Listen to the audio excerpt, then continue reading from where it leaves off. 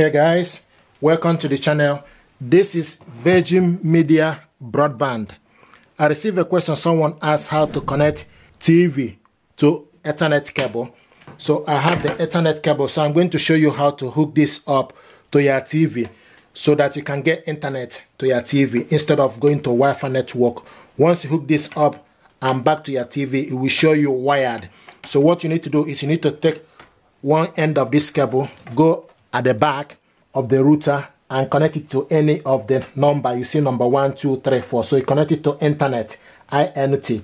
So I'm going to connect it to number four, push the cable inside and also the internet cable will also show you yellow. So connect it to the yellow part on your router.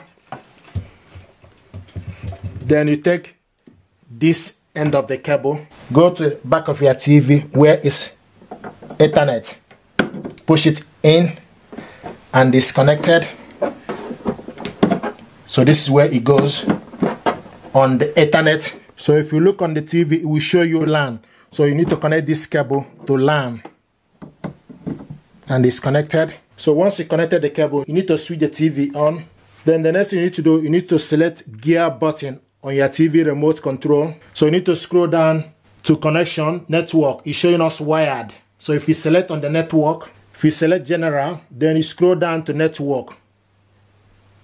Select network. If you select on the network, connected to Ethernet, wired, wired connection, Ethernet, connected to Ethernet.